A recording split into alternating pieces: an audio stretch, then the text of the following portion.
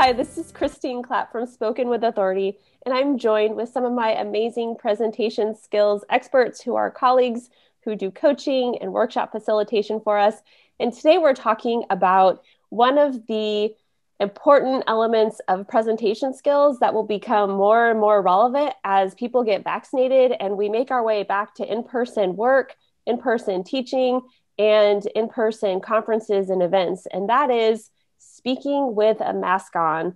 And today we're going to talk about how you can become better at communicating effectively with a mask on, whether you're in a one on one situation, if you're in a meeting, or if you have an opportunity to give a more formal speech.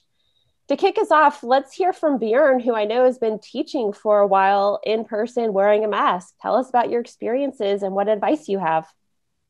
The University of Georgia has been face to face with classes uh, fall of 2020 and spring of 2021, with some some folks not being face to face, but they really push for more face to face classes in the spring. I'm teaching a face to face class and uh, normally, when I go back to school in the fall, I there's what I call like you got to get your lecture voice back, and that is just the you have to be used to speaking for a longer period of time and projecting more than just a conversational level, a conversational volume. And so, one of the tips that I would have is that you really do need to take very, very seriously the vocal warm up.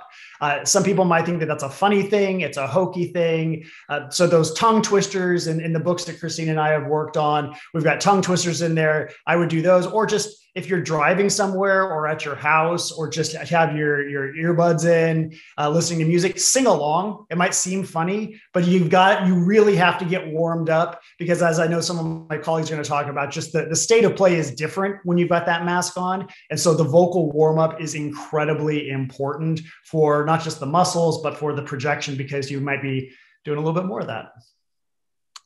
Thanks bjorn. And jean i know that you had some tips about the mechanics and how you actually project. What are your recommendations for speakers who are wearing masks? Yes, I did a little bit of in person teaching in the fall when the numbers were lower. And I found myself as I was speaking that the volume was important. I had to project more loudly than I normally did, but also taking care with articulation the mask can give a little bit of a garbled, muffled sound as well. So as you're increasing the volume, you have to be careful to over articulate a little bit. And what I found, this goes to the preparation. Bjorn was talking about the warm ups, and I think you you get a sort of dryness in your mouth. I would find sometimes that as I was speaking, I would get caught in my throat and hydration is really important to be prepared for speaking for longer periods of times with the mask on. Excellent. And a good reminder that you can't hydrate during a presentation or speaking situation. It's got to happen before. So the day before and the morning of and the day of, just to always have that water bottle with you. So it does. Although I think we we also have to allow people to go and take a sip now and then. You know you, you do have to do that. And and the other thing is to think about uh, if you are in a in a larger setting or maybe doing a hybrid event where microphones are involved to take some extra care with testing that out so that no necklaces are bumping against it or you know how is the mask affecting the pickup of the microphone? So having some tech people who can assist with that would be important. Absolutely. And for some events for example meetings that are hybrid i could definitely see a situation where we're sitting at a conference room wearing masks and we have our colleagues who are on the screen and that is going to be a really hard one for IT, just in terms of how do you pick up each person, but not get that reverberation sound from the other people sitting near us. So, as we move into that hybrid environment, wearing masks, I think the IT part and doing getting there early, doing triple checks to make sure that it works and is going to be even more important. David, I know that you had some advice on the etiquette of wearing masks, among others. Do you want to talk Absolutely. a little bit about your experience? You'll never guess what I'm going to talk about with regard to mask wearing. Smiling would never come to mind for me when I'm communicating, I know. But I never realized how much I smile when I'm talking to people until I started having to wear the mask. And then you realize that sometimes people are responding to you differently. And so for me, what I found is I have to acknowledge that. And it may seem like a really simple thing, but we fail to do this all the time when we're communicating. Something is awkward, and we don't simply say, hey, this is awkward, and this is what I'm trying to do about it. But for me, when I'm talking to people, especially the smaller the audience size, the more it helps to just acknowledge that I can't smile as much as I typically would with the mask.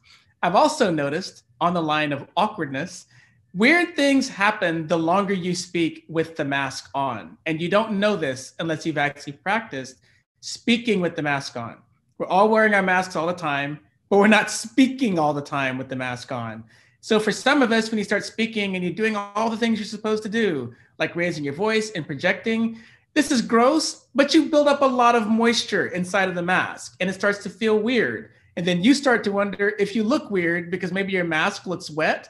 Then you do the one thing that nobody's ever supposed to do. You start playing with your mask and moving your mask around. So I would encourage anyone who has to do a presentation wearing the mask to practice wearing the mask and speaking for a period of time. And then if you have these problems like what I'm suggesting, you might want to have a solution like wearing the protective surgical style mask, then finding a cloth mask that you like and putting that over the mask. The CDC is recommending that, as I understand it now, anyway, but it can also make your presentation look cleaner and neater. And this awkward process of wearing the mask will be a little less distracting for you. Absolutely. A really great reminder about not fiddling with the mask, not taking the mask down so people can hear you, leaving it on, trying not to touch it, and having an extra one with you. And I think that's important, especially when you're going out in in the world and going to events that are longer, because we should be changing them regularly and you know washing our hands as we're doing that uh, as you speak in them for a while, or if you sneeze, right, you need to excuse yourself and change that out. So they also good break reminder. Periodically, they just break on you. yeah, absolutely and I know the CDC has some new guidance on how to wear the surgical mask. They talk about tying by little knots and then folding in the mask, the paper mask. So I'll put that in the a link to that how you do that, how you tie it and how you fold it in to help get a better seal in the notes of this uh, show. So this interview panel discussion. Michelle, I know that you have training as a speech language pathologist, so it must be really, really hard to do your work when people are wearing masks and when you're trying to demonstrate things wearing a mask. You're absolutely right. There are a couple barriers. we talked about sound. I'm going to build on a couple of points that my colleagues have already made. Uh, the American Speech Language Hearing Association tells us there's about a 3 to 12 decibel loss uh, when we're wearing masks. So, in addition to loss of volume, there's also some sound distortion as well. I would suggest trying some of the clear masks because it gives your audience some of the visuals back. Because we do lip read a little bit to kind of help us um, kind of stay in tune with the message when we're we're looking at people speak. And the other thing that has come to mind is when you're establishing your norms, also, tell folks it's okay to take a breather break. I've done one on one interactions where, after about 30 minutes or so, uh, I've stepped outside of the room, or the person I was working with stepped outside of the room so we can both take a breather break. So, just to let people know it's okay to do that. As David has said, when it gets a little uncomfortable, we know it's going to distract from our thoughts, and then we're no longer concentrated on the content in terms of delivering to a large group of people, a strategy that I'm considering is having a little bit of me pre recorded. So, some of what I may have delivered live pre COVID would be embedded in my presentation, and I would save the live talking for Q&A or directing workshop activities. I love that idea, Michelle, it, because people seeing your mouth either with that pre-recorded video or with the clear mask. So there are some masks that have a little clear box over your mouth is really important for inclusion. So people who are lip reading. And i know michelle works with people who are working on uh, articulation and doing speech language uh, pathology therapy and being able to see those things, the placement of the tongue and the movement of the mouth and the movement of the face is really important. So those masks with a clear view can be really helpful for a lot of reasons in terms of inclusion. The other things that I would add are one, we've talked about practicing about how the mask gets wet and how you want to practice so that doesn't throw you off. Uh, you want to practice so that you can speak loudly. You want to practice so that you can work with the microphone and get everything right. The other piece of practice is that if you are giving a presentation and you're used to reading your notes, glancing at your notes without a mask, it can look and feel very different when you have something bulky on your face to glance down.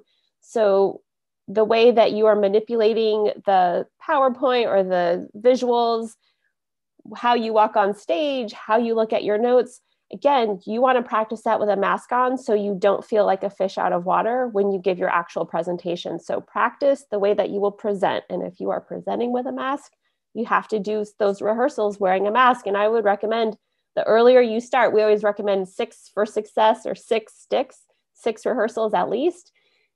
Start as early as you can in those six rehearsals to start working with a mask so you get into the habit of using the mask. And then the other recommendations I have are for people who wear glasses. My contacts have been bothering me lately, so I've been wearing glasses more and more.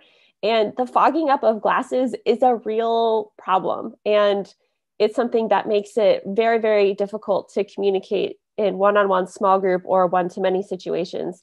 And the name of the game is to work on getting rid of that gap between your mask and your glasses so that that fogging doesn't happen because the fogging is a sign that there's not a tight fit. So, a couple suggestions for you is one, consider getting a mask that has a tighter fit. So, some of the masks, I know that there is controversy over whether everyone should have an N95 mask because we need them for healthcare workers. But however, you can get the best fitting mask, and even one with just a nose piece that's metal that can conform to your nose will help. And another way, if you don't have one with that nose piece, or even if you do, you can use some uh, tape that's for you know putting on wounds or bandages, and just do a little piece of tape on the bridge of your nose to help keep that seal really tight, and will help your glasses from fogging up you also can wash your glasses with soap and water and let them air dry, and it will leave a, a little bit of a film on them that will help reduce the fogging. Or they are anti fogging solutions that you can get that divers, for example, use to help keep their mask, their uh, goggles cleared, and that can be something that is helpful as well. But if you are going back and you're a glasses wearer, you definitely want to think about ways that you can mitigate the fogging up of your glasses so that it's easier for you to see other people and your notes and what's going on around you while you're communicating. Did anyone else, else have any final thoughts on wearing a mask when you are communicating? I think the only tip that I would add is the use of a decibel meter. When you talk about practicing and trying to compensate for that decibel loss of 3 to 12 decibels, you can search for free apps online, dB meter, and you'll be able to practice and make sure that your loudness stays within that probably 70 to 75 ish range. Yeah, and it just is on your phone and you can measure it as you're practicing. And again, it's higher than you think it would be. So when you practice initially, you might be in the 40s or 50s or 60s, like very soft, and you do need to get it much louder than you think it's a really great tool to get some external feedback, if you will, on how loud you are, because sometimes we feel like we're really loud, and in fact, we're not. And a mask just compounds that. It, it muffles us a lot. Well, I want to thank my colleagues, Bjorn and Jean and David and Michelle, for spending some time today talking about how we can do a better job giving presentations and communicating while we are wearing a mask. Certainly something that will be more and more part of our lives as uh, we go on in 2021 and beyond.